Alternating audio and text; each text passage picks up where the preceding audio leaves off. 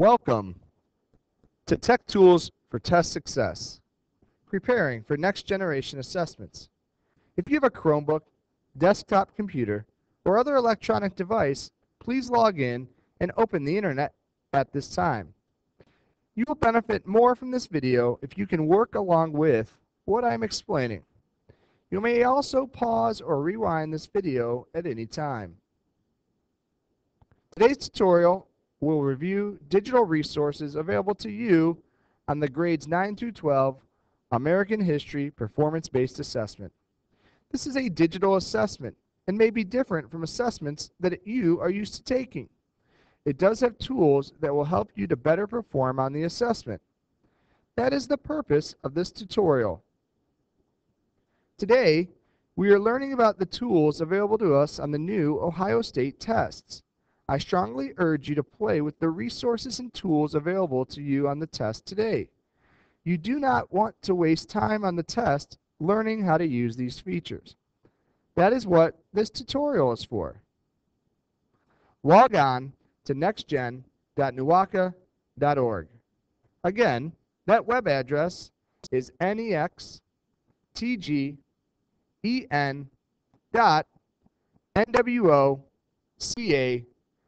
org.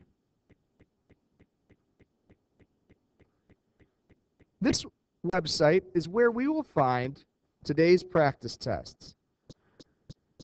What we want to do first is click on the box Ohio Online Field Test Portal. Click on that box. Today, we will be signing in as a guest. So we see that the session ID is guest, our first name is guest, and our student ID is guest. So please click sign in. Choose your grade level. For today's video, I will choose grade level 10. Then click yes.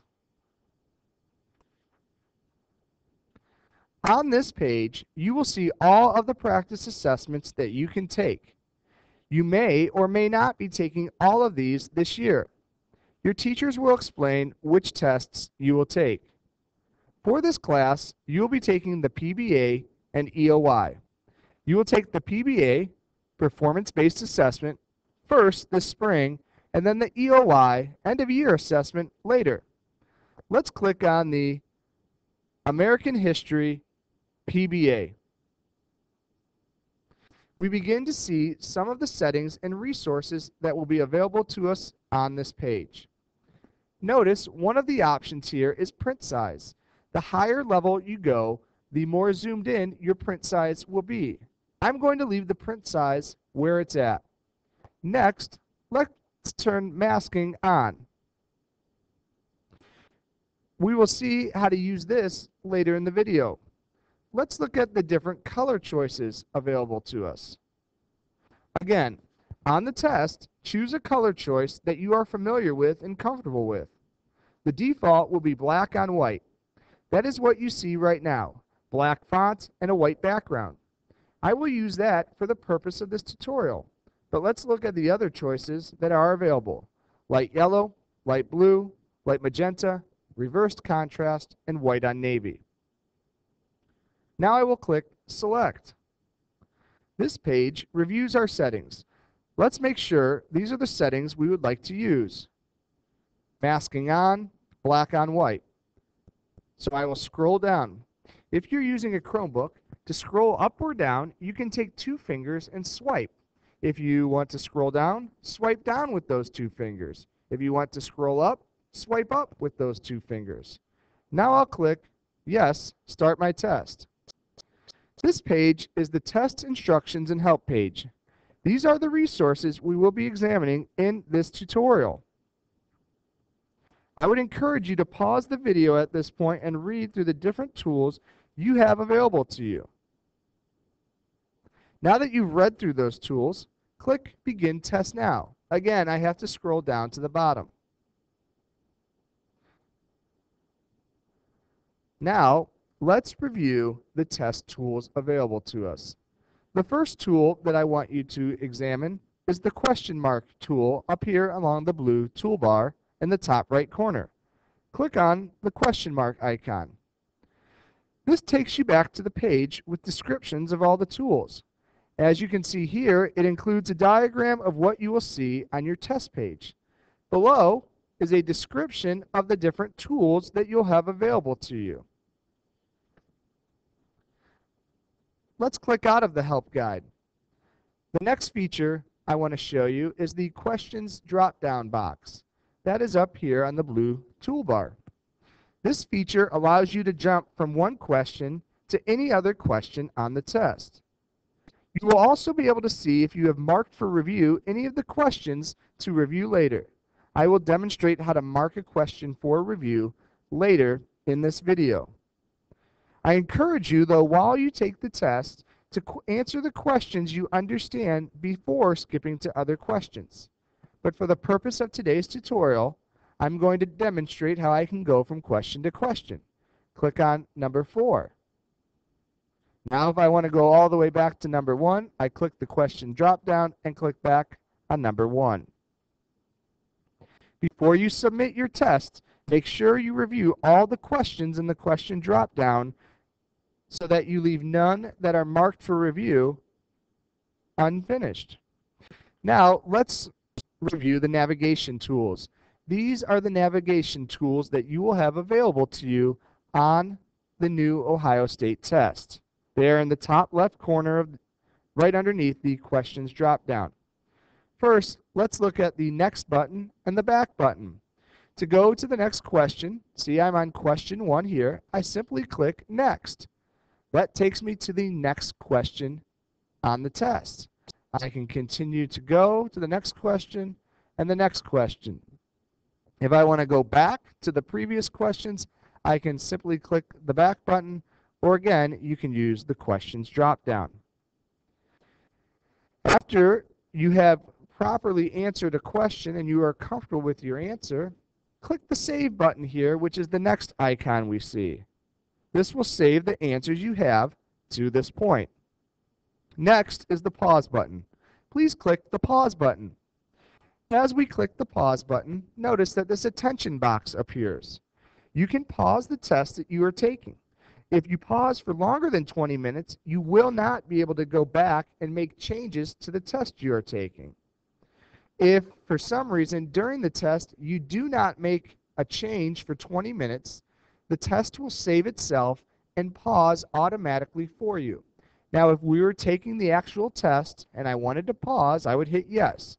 But for today's tutorial, we will click no because I do not want to pause the test. Last of the navigation tools is the End Test button. This button submits the test for you. Do not click this button until you are finished with the test. Be sure to click the button once you have finished with the test. Let's stay along this top toolbar, but move over to the right side. These are the test tools that are available to us. First, let's look at masking. This will allow you to cover part or parts of the question. This would be similar to using your hand, a pencil, or piece of paper on a traditional paper and pencil test. To activate this tool, simply click on masking. Notice the icon is lit up in red. Now, if I want to mask part of this question, I see that it's a two-part question. Let's say I want to mask part B. All I need to do is click and then drag my mouse over the part that I'd like to mask. Notice that the masking icon is still highlighted in red. That means anywhere I click, will start to create masks. You may find that annoying. So once you have masked or covered up the area you want, you may want to unhighlight that masking icon. All you need to do is click on it. Now, to remove these masks, I simply click on the X to X out of these boxes. And that helps me remove those. The next icon that we have is the notepad icon. The notepad icon or notes icon is located right next to masking. Many of you write notes or information in the margins or elsewhere on a traditional pencil and paper test. This allows you to do it digitally. To activate this, click on Notes. Notice the notepad that appears. This notepad can be moved anywhere you want on the screen to fit your needs. You can type ideas that you have in the box. So to do that, I simply click in the notepad and I type my ideas. Now, if I want the notepad to disappear, but I want to keep my ideas, I simply click Save and Close, and it disappears. I can click back on the notepad and notice ideas have returned. So I'm going to cancel out of that. The next option is the line reader option that you have available to you. This would be similar to using your hand, a pencil, or piece of paper on a traditional paper and pencil test. This will highlight a line of text for you. To activate, simply click on the icon. Notice that the first line of the text is highlighted in blue. If you want to move that line reader up or down, simply use the arrows in the bottom right corner of your Chromebook. Notice I'm arrowing down and it is moving down the different lines of text. I can also move up the different lines of text. Once again, to deactivate this, all I do is click on Line Reader and that will go away. The last tools on the Tools menu are the Zoom Out and Zoom In. Let's click Zoom In. Notice every time I click Zoom In, it magnifies the screen for me. Now, part of the screen may be difficult to see, so I can use these toolbars along the side to slide up or down and then along the bottom to slide side to side. If you're using a Chromebook, you can do a two finger swipe to the right or two finger swipe up or down in order to move what you are seeing. You may want to practice that right now. So I'm going to zoom out to return to normal view at this time.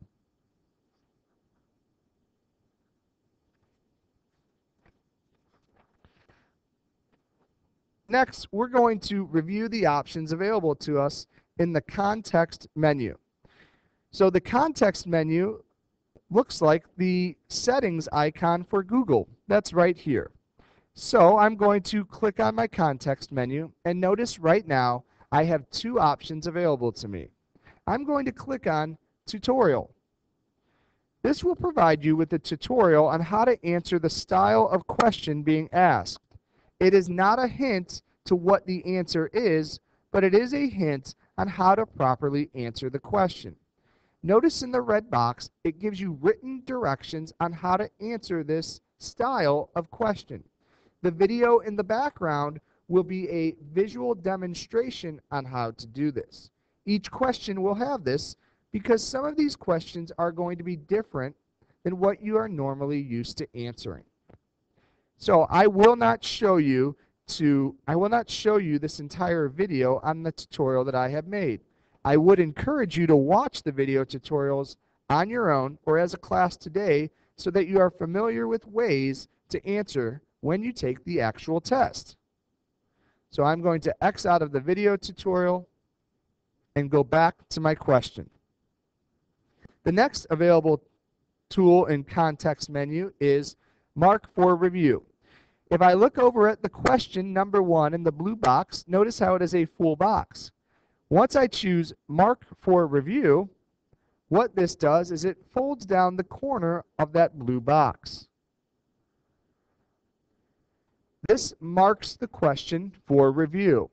Also, along the question drop down, up in the top left corner of your screen, it marks it as well so that you know to go back and review this question before you hit end test to submit your test. Once again, though, I would encourage you to answer the question if you understand it before skipping to other questions.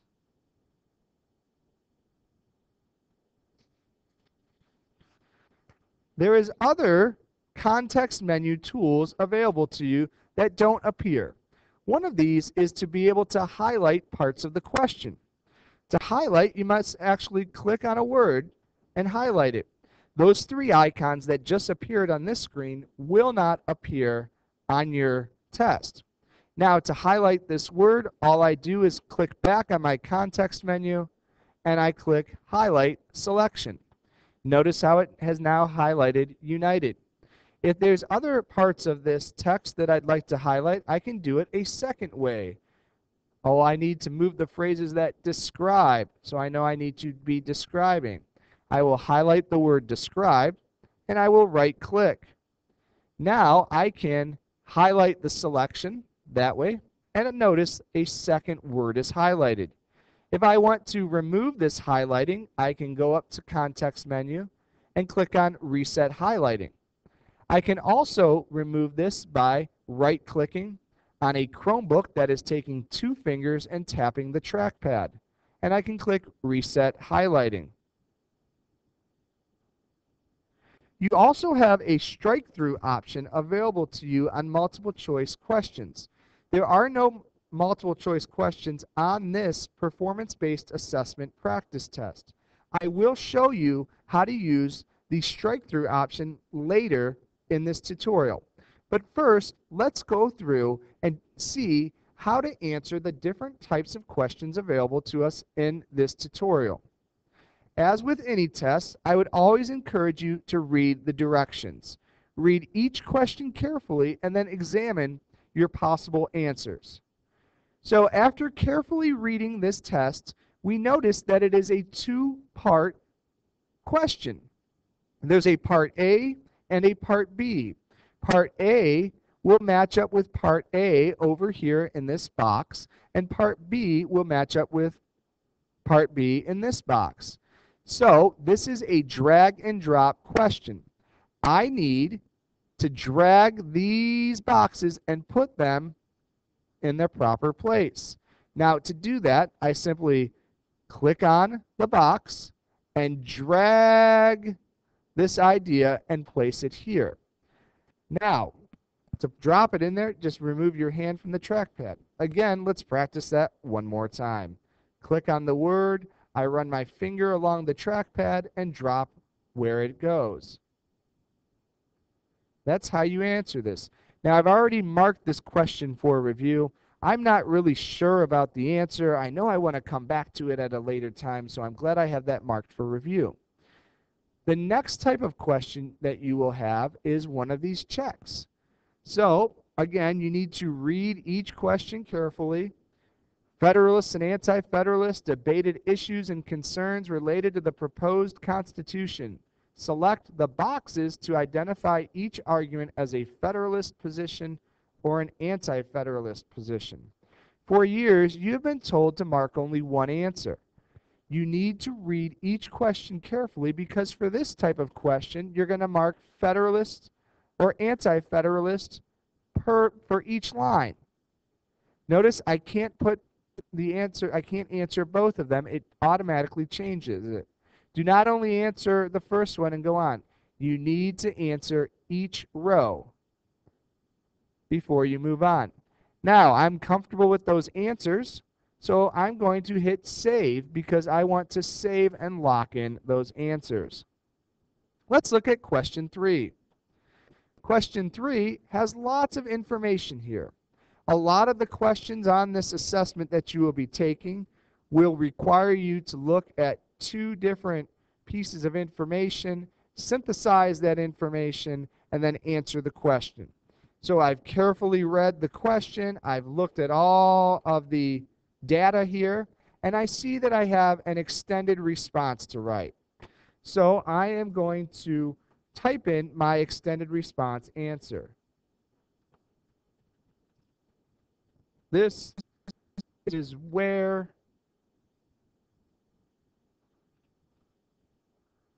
I will answer. So you simply use your keyboard to type in the answer. The tools available to you on an extended response, if I highlight a word here, I can make that bold by the big bolded B. I can also italicize it by the italicized I. And believe it or not, I can underline it by the underlined U. Now to remove any of that formatting, I can remove it by clicking on that, or I can hit the remove format. If I want my answer to be in bullet points, I can click the bullet. If I prefer numbers, I can use numbers. You may also change your indentations by clicking that one to the right. This icon will move it to the left. You have the ability to cut a word. So if I wanted answer cut out, I would click the scissors. But let's pretend you didn't want to do that. Here is the undo button. Oh, but maybe I did want to, so I will click the redo button. No, I don't, so I'll click undo. To copy that, this is your copy. It kind of looks like a duplicate. This will paste for you as well. Now, when you're typing on Google Docs or Microsoft Word, when you misspell a word, it underlines it for you. This test does not do that, but you do have a spell check option available to you. To activate that spell check option, highlight the entire passage. So I would highlight this entire passage. Then I will click on the spell check icon. Notice now the misspelled word is underlined. To get the proper spelling, I simply click on that. And it gives me a list of different options to choose. This is the where that I want to choose. I'll click on that and it will spell it properly for me. Now, I could try to type right here, but nothing will happen. I simply have to deactivate spell check by clicking on the spell check icon. For some answers, you may need special icons or special characters. Click on the special character, and you see you have lots of different options available to you. Also, as you float your mouse over the different characters, they show up in that box to the right. I will cancel out of this. Again, I feel confident with my answer here, so I will hit save. And what that does is it saves all of my answers for me. Let's move on to the next question. Again, this is a an extended response question. The tools and resources available to you are exactly the same as the question I just reviewed. Now, before I submit my test by hitting End Test, I want to go back and make sure I have not marked any for review. I have, so I'll click on number one, and that's marked. That indicates to me I need to go back and finish that question. I would also encourage you to check all of your answers that you have made.